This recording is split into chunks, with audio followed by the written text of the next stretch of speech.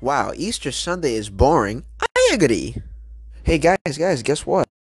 What is it, Sonic? Let's go Easter egg hunting. It'll be fun, trust me. Oh yeah, let's go, but how many eggs are there? There are seven eggs, just like how there are seven Chaos Emeralds.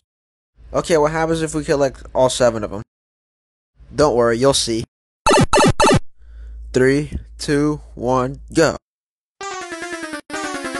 Alright, where's the first one? Where is it? There's gotta be around here somewhere. Where is it? Found it. Where's the egg number two? Hey you, do you know where egg number two is?